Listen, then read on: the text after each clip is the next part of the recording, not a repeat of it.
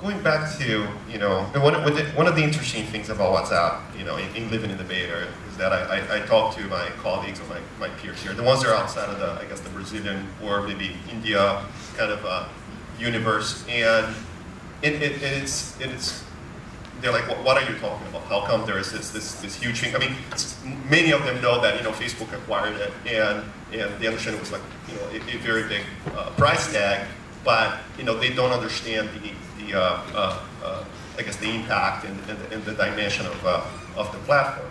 So, so why do you think that you know WhatsApp took off so much in, in, in markets like Brazil or India or Europe versus you know what's happening here in the U.S.? Um, as we looked at um, a variety of different markets, I think there were different triggers that um, fostered growth in our network, um, maybe a little bit faster than they did the United States. Uh, one of which, I mean, to be brutally frank, was the cost of SMS in general. Um, and you know, in the United States in 2009, people were already starting to purchase unlimited SMS plans, and so to them they were equating unlimited SMS with free SMS. The, the dirty secret is it's not free; it's just unlimited. So you're paying 10 bucks a month or 15 bucks a month, and you're just not thinking about it and your teenage daughter is sending 16,000 messages a week, a month, and you're like, okay, it's unlimited, I don't care. Well, as it turns out in many other countries, it's not unlimited, it's metered. And as such, when your teenage daughter sends 16,000 messages, you're pretty darn unhappy, right? So you're, you're darn grumpy, right? Um, so, you know, cost was certainly a factor. Um, there was an interesting effect that we saw in Europe especially, which was the border effect uh, insofar as you know France and Belgium, neighbors. Uh, you know, for them to send a message across the borders, there's a surcharge, there's a tariff, right? Hmm. Whereas, you know, in the United States, that's equivalent to sending a, a message between West Virginia and Virginia. It's, it, there shouldn't be there, right? They're, they're next door to each other. Why should there be this tariff?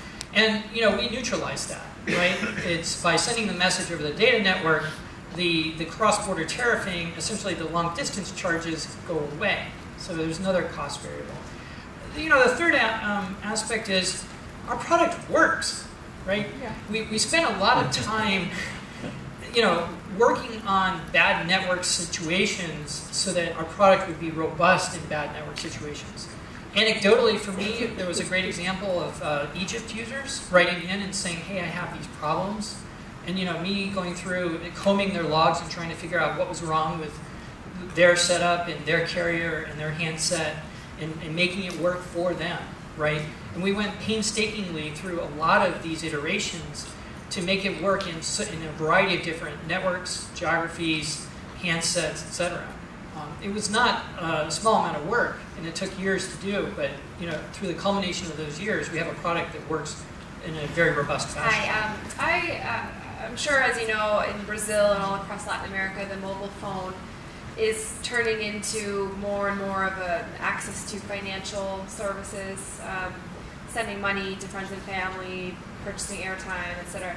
I was wondering if you have any plans along those lines um, to use WhatsApp as that sort of digital wallet, mobile money, that sort of thing. Um, no immediate plans. Digital digital currency is a tricky one relative to banking regulation. Um, and it's especially difficult to do on a global basis to the point that we've, we've really um, stayed away from it, uh, partly due to our size and our desire to focus. Um, we've been more oriented on helping people uh, communicate on a real-time basis. So it's more in our more in our line of sight to do something like real-time video communication than it is to do uh, payment and online transactions at the current time. So in Brazil, that's 75% of the market is low income, and as we learned this morning, 80% are prepaid. And I'm just curious if what you're hearing is from telecommunication companies. What are their reactions, the Oi, the Claro, the Vivo, uh, with what WhatsApp is doing and undercutting their SMS fees? And if you're seeing any pressure from those companies or from government regulations? So as a general rule with uh, telecommunications companies, we do our best to partner with them as, as we can.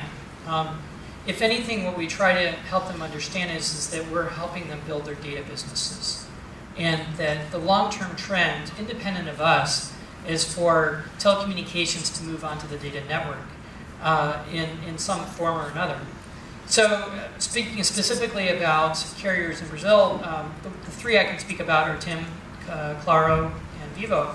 And you know, we have different relationships with each, right? TIM, apparent, seems to really understand it, really get it. They're, they've been pro, you know, pushing data packages, uh, and that's worked really well. Um, and, and they've also worked with us on bug fixes and things like that. Uh, Claro is a partner of ours, uh, and so you know we have an outstanding relationship with them.